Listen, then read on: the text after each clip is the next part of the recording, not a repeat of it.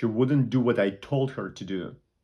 So I taught her a lesson. And her two brats, bye bye. Good riddance.